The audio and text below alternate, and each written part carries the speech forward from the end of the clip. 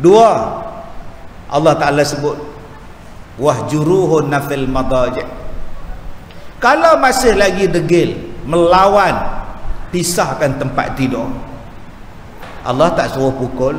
Last sekali wadribuhunna. Last sekali dah tak boleh nak buat apa baru pukul. Dalam inilah ramai orang lelaki yang salah. Bila dia pukul isteri dia dia buat keluar ayat Quran. Ni nampak tak? Allah kata pukul isteri boleh aku pukul kamu. Dia tak belajar huraian dia apa maksud pukul dalam ayat itu? Dia tak belajar hadis yang Nabi kata tak boleh pukul sampai lebam berdarah tak boleh pukul bahagian kepala dia. Ini kita tumbuk isteri kita lebam belah kanan ni lebam mai jumpa pengurus. Pengurus Felda kenapa ni? Kak Leha suami pukul. Minggu lagi sekali lebam belah kiri pula. Dua-dua lebam macam mata panda. Itu bukan suami gentleman tu. Allah tak bagi pukul. Habis tu nak pukul dengan apa ustaz? Ambil lidi. Lidi tu. Itu je. Amboi besar tu. Tu je akak-akak bila suami pukul dengan lidi janganlah duk menganjing pula. Tak sakit. Ha, buat. Batamuk mana batamuk? Batamuk pula ha, baru sakit. Tak pun diambilnya kain. Kain kain tuala tu. Gitu je. Abang-abang kalau pukul macam tu amboi cukup terasa dah itu makna pukulan dia. Bukan maknanya suruh pukul sepak terajam buat smackdown. Macam John Cena pula sebelum nak smackdown macam tu dia buat kat isteri dia. Oh, jahat betul hang ni. Maka itu dosa kita dengan depa. Berapa ramai yang minta maaf. Dia kata lagi dua bulan saya minta maaf hari raya. Hari raya baru nak minta maaf. Kok boleh raya? Buatnya PKP tak minta maaf. Abang tak ada maaf-maaf ke? PKP tak ada maaf ke? Tak boleh salam. Dosa kita akak-akak dengan suami. Oh. Cukuplah dosa. Bila suami kata leha, mai tidur mai. Esok Jumaat mai tidur. Malam Jumaat buat apa? Ha, yang mana faham faham tak faham sudah. Dengar tazkirah. Isteri di suami dia panggil, mai tidur mai. Isteri jawab, tidurlah dulu. Meh meh. Oh anak terika baju ni. Besok dia ceramah.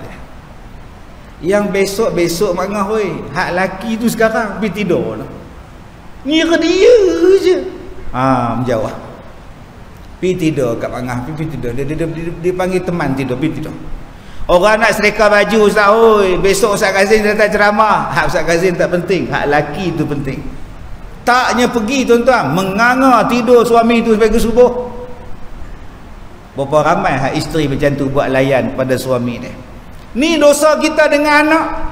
Dosa kita dengan mak bapak, dosa kita dengan jiran, dosa kita dengan orang, maka kata Allah wasari'u ila maghfirah cepat-cepat minta ampun jangan tangguh-tangguh. Sebab apa?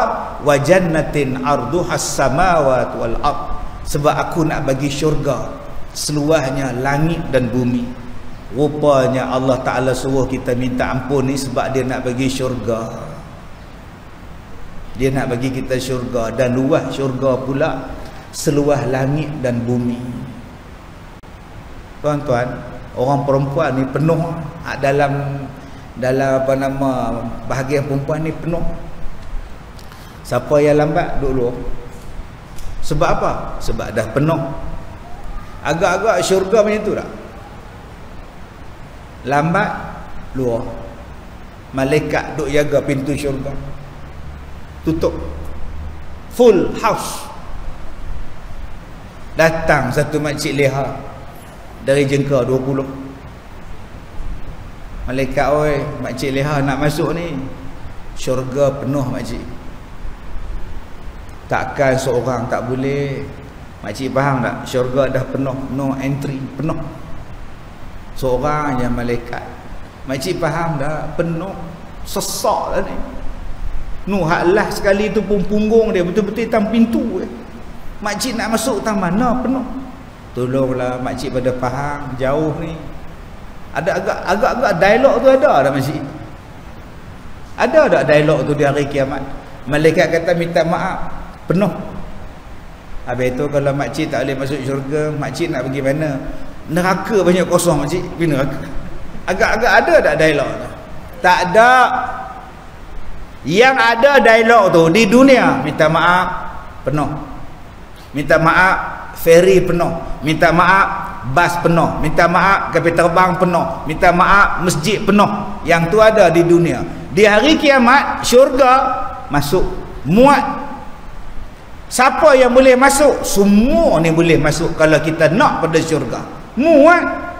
Allah kata luasnya syurga itu seluas langit dan bumi. Maknanya luas sungguh. Mula-mula Allah Ta'ala kata seluas langit Masya Allah syurga seluas langit. Luas sungguh. Allah. kita duk tengok langit. Ini baru langit dunia. Ini langit dunia. Sama dunia langit dunia.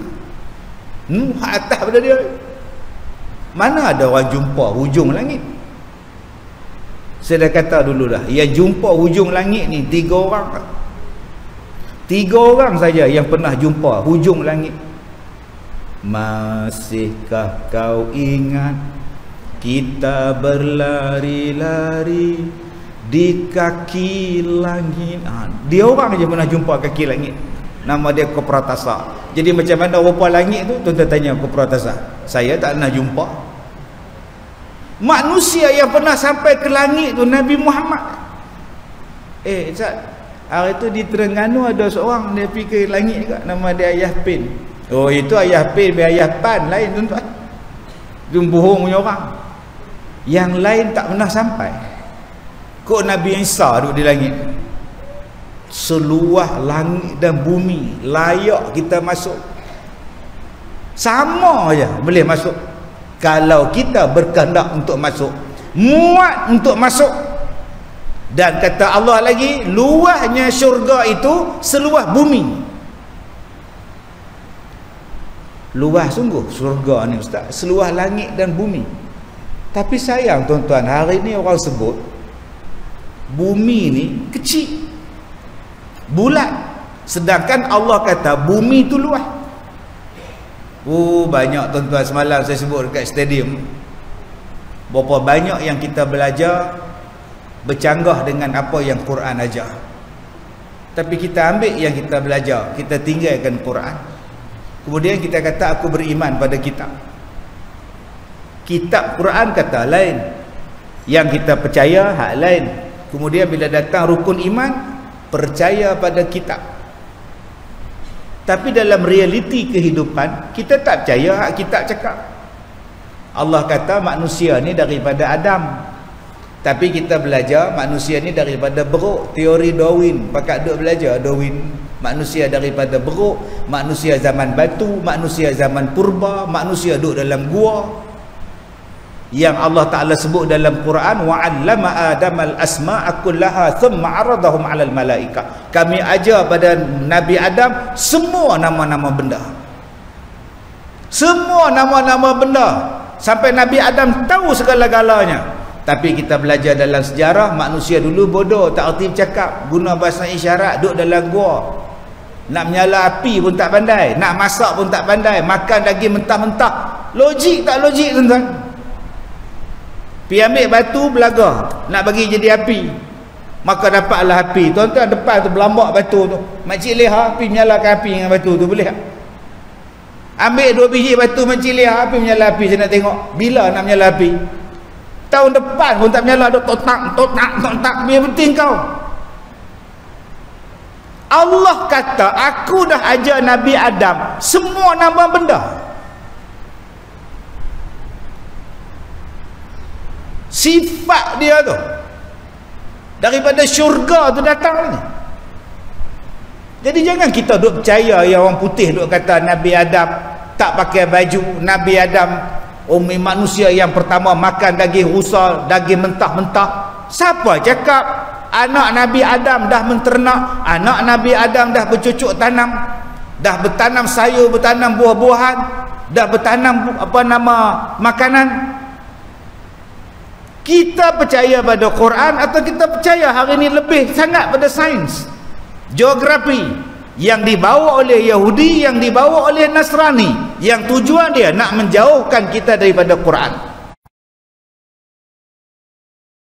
di hari kiamat nak minta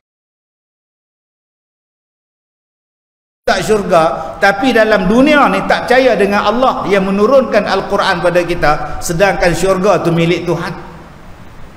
Kena betul balik tuan-tuan. Banyak benda. Kita belajar dalam dalam Quran wasyamsu tajri li mustaqarrin laha zalika taqdirul azizil alim wal qamara qaddarnahu manazila hatta ada kal urjunil qadim. La syamsu yanbaghi laha an tudrikal qamar wal lailu sabiqun nahar wa kullun fi falakin yasbahu Quran cukup jelas sebut matahari berjalan pada paksinya. Wasyamsu tajri li mustaqarrin laha matahari itu berjalan pada tempat dia. Bulan berjalan pada tempat dia bumi yang tak berjalan. Yang kita belajar matahari tak berjalan bumi duk pusing matahari. Tak ke bercanggah dengan Quran? Quran kata matahari yang berpusing. Quran kata bulan yang berpusing. Bumi tak pusing. Yang kita belajar matahari duk diam bumi duk pusing dekat dia. Dan kita tak boleh kata ini agenda ni benda ni benda kecil je ustaz. Benda kecil kau cakap mengubah ayat Quran. Menghilangkan keyakinan kita pada Quran. Itu baru masuk tentang bulan bintang matahari. Kita dah lari jauh tuan-tuan daripada Al-Quran. Tak malu ke kita tuan-tuan? Kita duk baca Quran bulan Ramadan nama dia tadarus tapi kita tak percaya dengan Quran cakap.